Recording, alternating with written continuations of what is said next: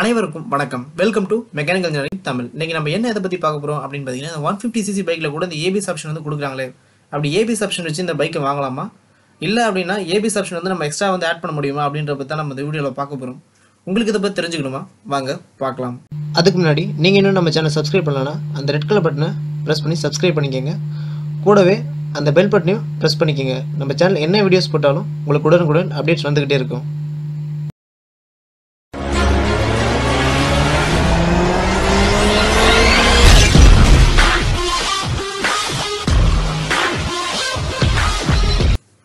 பொதுவாக இப்போ நம்ம வந்து ஒரு ஒன் ஃபிஃப்டி சிசி பைக் அதாவது வந்து சுசிக்கில் சிக்ஸரோ இல்லை இன்ட்ரூடரோ வாங்க போனால் கூட அதில் வந்து ஏபிஎஸ் ஆப்ஷன் அப்படி வந்து கொடுக்குறாங்க. அப்படி வந்து அந்த ஏபிஎஸ் ஆப்ஷன் வச்சு வாங்கலாமா?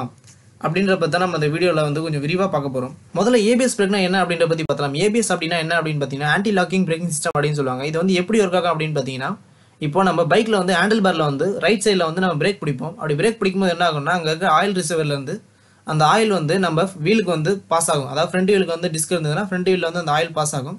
அந்த ஆயில் பாஸ் ஆகி ஆல்ரெடி வந்து நம்ம வீலில் வந்து ஒரு டிஸ்க் ரோட்டார் கனெக்ட் பண்ணியிருப்பாங்க.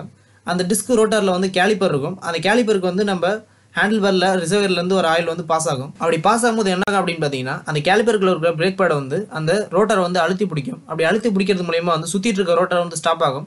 அப்படி அந்த ரோட்டார் ஸ்டாப் ஆகும்போது அதை கனெக்ட் பண்ணியிருக்க வீல் வந்து ஸ்டாப் ஆகும். இப்படி தான் வந்து அந்த பிரேக் வந்து ஒர்க் ஆகும். இதே தான் வந்து ஏபிஎஸ்லையும் டிஸ்கை பொறுத்தவரையில் நம்ம பிரேக் அப்ளை பண்ணோம் அப்படின்னாலே வந்து அந்த ஆயில் வந்து ஒரே தான் பாஸ் ஆகி அந்த கேலிப்பரில் இருக்க பிரேக் பட் வந்து புஷ் பண்ணி அந்த ரோட்டர் வந்து ஸ்டாப் பண்ணிடும் ஆனால் வந்து ஏபிஎஸ்ல எப்படி இருக்கும் அப்படின்னு பார்த்தீங்கன்னா நம்ம பிரேக் அப்ளை பண்ணும்போது அந்த ஆயில் வந்து ரிசர்வேர்ல வந்து கேலிப்பருக்கு பாஸ் ஆகும். ஆனால் கேலிப்பரில் இருக்க பிரேக் பேடை வந்து அந்த ரோட்டர் வந்து விட்டு விட்டு பிடிக்கும். அப்படி விட்டு விட்டு பிடிக்கும் போது என்ன ஆகும் அப்படின்னு பார்த்தீங்கன்னா அந்த ரோட்டர் வந்து ஸ்டக்காய் ஸ்டக்காய் சுற்றும் அப்படி ரோட்டர் ஸ்டக்காய் சுற்றும் போது வந்து அதில் கனெக்ட் பண்ணிருக்க வீல் வந்து ஸ்டக்காய் சுற்றி ஸ்டாப் ஆகும். இப்படி தான் வந்து ஏபிஎஸ் வந்து ஒர்க் ஆகும். இப்போ இந்த ஏபிஎஸ் வந்து எதுக்கு கொடுக்குறாங்க அப்படின்னு பார்த்தீங்கன்னா ஒரு சேஃப்டி ஃபீச்சருக்கு தான். அதான் வந்து ஒரு பாதுகாப்பு தான் கொடுக்குறாங்க. அப்படின்னு இந்த ஏபிஎஸ் வந்து சேஃப்டி இருக்குது அப்படின்னு பார்த்தோன்னா ஃபார் எக்ஸாம்பிள் வந்து ரெண்டு பைக் எடுத்துங்க. ஒன்று வந்து ஏபிஎஸ் உள்ள பைக் இன்னொன்று வந்து ஏபிஎஸ் இல்லாத பைக் அப்படின்னு எடுத்துட்டோம்னா அதில் வந்து ஒரு எண்பது கிலோமீட்டர் ஸ்பீடில் வந்து நம்ம ட்ராவல் பண்ணுறோம் அப்படின்றப்போ சடனாக வந்து நம்ம எதிர்க்க வந்து ஏதோ ஒரு வண்டி வந்து கிராஸ் ஆகுது அப்படின்றப்போ நம்ம வந்து டக்குன்னு பிரேக் அடிப்போம். அப்படி ஏபிஎஸ் இல்லாத பைக்கில் வந்து பிரேக் அடிக்கும்போது என்ன ஆகும்னா நம்ம வந்து பிரேக் அப்ளை பண்ணும்போது சடனாக வந்து வீல் வந்து ஸ்டாப் ஆக பார்க்கும். அப்படி ஸ்டாப் ஆகும்போது என்ன ஆகும்னா நம்ம வீல் வந்து ஸ்கிட் ஆகும் நம்மகிட்ட கண்ட்ரோல் இருக்காது பைக்கோட கண்ட்ரோல் இருக்காது. அப்படி இருக்கும்போது என்ன ஆகும்னா அது வந்து பெரிய ஆக்சிடென்ட்லேயே முடியறதுக்கு வந்து அதிகமான வாய்ப்பு இருக்குது இதே வந்து ஏபிஎஸ் பிரேக்கில் வந்து நம்ம பிரேக் அப்ளை பண்ணும்போது என்ன ஆகும்னா நம்ம பிரேக் அப்ளை பண்ணும்போது வந்து நம்ம டிஸ்க் ரோட்டார் வந்து விட்டு விட்டு ஸ்டக்காய் ஸ்டக்காய் ஸ்டாப் ஆகும். அப்படி ஸ்டக்காய் ஸ்டக்காய் ஸ்டாப் ஆகும்போது நம்ம வீல் வந்து ஸ்டக்காய் தான் ஸ்டாப் ஆகும். அப்போ வந்து என்ன ஆகும்னா நம்ம பைக் கண்ட்ரோலும் நம்மக்கிட்ட இருக்கும். டக்குனு வந்து நம்ம பைக்கை வந்து ஸ்டாப் பண்ணி அந்த ஆக்சிடென்ட்டை வந்து அவாய்ட் பண்ணிடலாம். இதனால தான் வந்து இந்த ஏபிஎஸ் வந்து ஒரு சேஃப்டி ஃபியூச்சர் அப்படின்னு சொல்கிறாங்க இந்த ஏபிஎஸ் பைக் பற்றி பார்த்தோன்னா வந்து பெரும்பாலும் வந்து சிசி அதிகமான பைக்கில் தான் கொடுப்பாங்க. ஃபார் எக்ஸாம்பிள் கேடிஎம் டியூக் இந்த மாதிரி பைக்கில் தான் கொடுப்பாங்க. ஆனால் வந்து இப்போலாம் பார்த்தீங்கன்னா சிசி கம்மியான பைக்கை தான் வந்து சுசுகி இன்ட்ரூடர் ஜிக்ஸர் இந்த மாதிரி பைக்லேயே வந்து சிங்கிள் சேனல் ஏபிஎஸ் வந்து கொடுக்குறாங்க.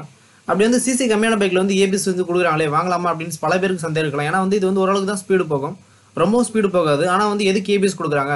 அப்படி அந்த ஏபிஎஸ் வச்சு வாங்கலாமா அப்படின்றது பல பேருக்கும் சந்தேகம் இருக்கலாம். அதை பற்றி பார்த்தோம்னா அந்த ஏபிஎஸ் அப்படின்றது வந்து நூற்றி இருபது கிலோமீட்டர் ஸ்பீடு நூற்றி முப்பது கிலோமீட்டர் ஸ்பீடில் போகும்போது தான் வந்து நமக்கு வந்து பயன்படும் அப்படின்றது கிடையாது. ஒரு எண்பது கிலோமீட்டரில் போகும்போது கூட நம்ம எதிர்பாராத விதமாக வந்து இந்த ஏபிஎஸ் அப்படின்றது வந்து பயன்படும். ஃபார் எக்ஸாம்பிள் வந்து இப்போ நீங்கள் வந்து ஒரு சிக்ஸர் பைக் எடுத்துங்க சுசுகி சிக்ஸர் அந்த பைக்கில் வந்து நீங்கள் ஒரு எண்பது கிலோமீட்டர் ஸ்பீடில் வந்து போயிட்டுருக்கீங்க அப்படின்னா டக்குன்னு வந்து உங்கள் எதிர்க்க வந்து ஒரு கார் கிராஸ் ஆகுது. அப்படி கார் கிராஸ் ஆகும்போது என்ன ஆகும்னா நீங்கள் சடனாக வந்து பிரேக் அடிப்பீங்க. அந்த பைக்கில் வந்து ஏபிஎஸ் இல்லைன்னா என்ன ஆகும்னு யோசிச்சு பாருங்கள் கண்டிப்பாக வீல் வந்து ஸ்கிட் ஆகும்.